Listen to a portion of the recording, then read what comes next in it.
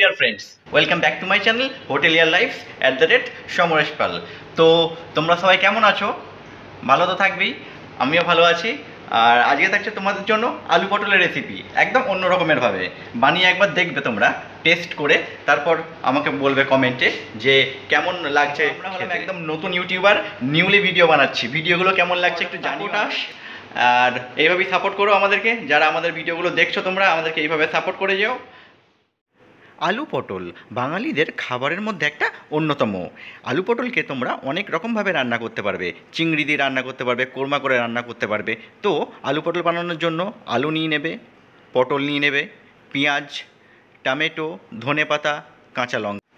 পটলটা যখন ফ্রাই হবে, তখন আমরা পেঁয়াজ, টমেটোগুলোকে পেস্ট করে নেব।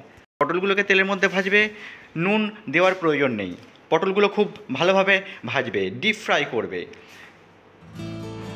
নিয়ে নেব আদা পেস্ট, রসুন পেস্ট এবং পেঁয়াজের পেস্ট, চালমগজ এবং কাজু। কাজু চালমগজগুলো মিক্সচার মেশিনে পেস্ট করে নেব।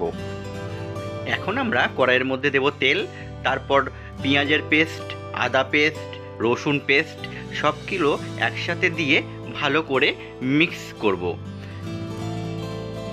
তো ডিয়ার ফ্রেন্ডস পটলটা একটা ভালো রেসিপি যে কোনো অনুষ্ঠান বাড়িতে পটলের সাথে চিংড়ি মাছ দিয়ে পটল চিংড়ি একটা খুব ভালো রেসিপি তো সব পেস্টগুলোকে দিয়ে কড়াইয়ে রেখে ভালোভাবে নাড়বো।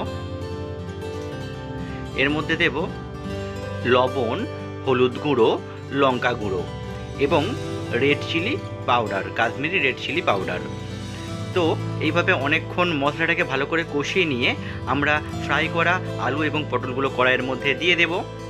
দিয়ে দেওয়ার পর এটাকেও খুব ভালো করে দশ থেকে পনেরো মিনিটের মতন খুব ভালো করে কষাবো। মশলাটার সঙ্গে খুব ভালো করে মেশাবো। আর কাশ্মীরি রেড চিলি পাউডারটা তোমরা দিতে পারো, এতে কালারটা খুব সুন্দর আসে।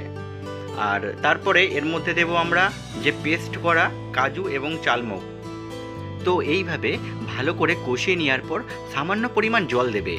মনে রাখবে, এটা কিন্তু পুরো গায়ে মাখা হবে। সামান্য পরিমাণ জল দেবে। এইভাবেই আমাদের আলু পটলের রেসিপি রেডি হয়ে যাবে। খেতে খুবই সুস্বাদু লাগবে, বিশ্বাস করো খুবই সুন্দর লাগবে। Thank you guys for watching চ্যানেলটাকে একটু সাবস্ক্রাইব করে